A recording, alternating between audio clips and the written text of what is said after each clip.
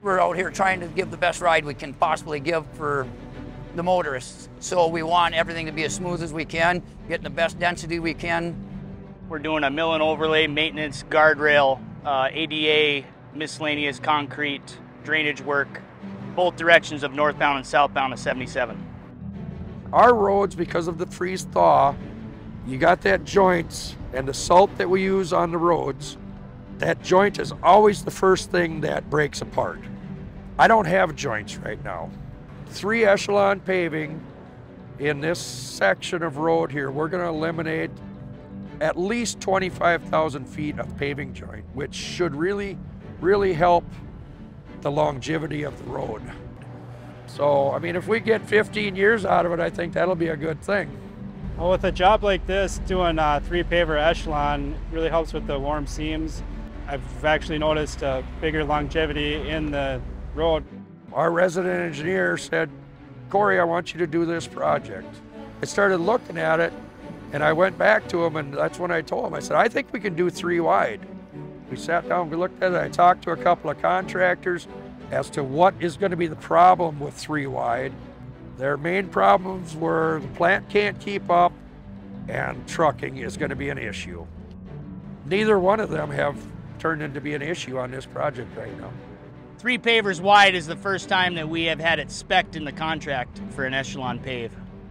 We originally, the contract stated that we had four weekends, two each direction, to shut down all ramps and mainline to get our completion of our milling and paving done. The Mall of America did not want their ramps closed for the public to get into their mall. What the mall had asked us to do when we were going northbound was to at least let the traffic out to northbound. We have enough detours and enough major roads in the area that we can detour. A much safer project and it's a better quality project if we don't have the traffic on it while we're, while we're doing the work.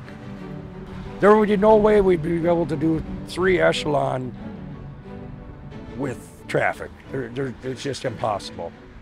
This road is ending up to be one solid mass of pavement without a place for it to separate, without a place for it to break apart. The ride is so much nicer with all the pavers going at the same time and all the rollers at the same time. To do three pavers with the three shuttle buggies in front of it, you don't see that very often, and it's it's really fun to watch. You know, it's and it makes a better road. You got all your seams are nice and hot, so you eliminate your cold joints down the centers, and it'll give you a lot better product in the end. I don't even have words to describe how good I feel about what it looks like and how it rides. The thermal mapping is set up on the paver. They have actually a laser beam on the top that shoots down, checks, checks the mat's temperature, and that's displayed right on the paver. You can see how hot the mix is coming in. Variances in the temperature of the mix, we'll uh, contact the plant and ask them to heat up the mix or you know watch the load, how they're loading the trucks. The intelligent compaction we've been using for about five years now. The advantage is overall a smoother job for the rollers, uh, keeps track of their patterns, that way they're not looking at a street sign or something for their stopping point. This gives them a real-time, you know, painted picture of their coverage. Thermal and the intelligent compaction helps us greatly in the field. Done through our QC department and they're able to give us feedback on the spot. They know exactly where we're at.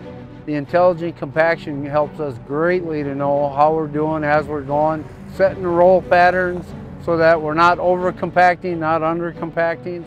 I see technology helping this company greatly. We do like the CAT equipment. We have good luck with it.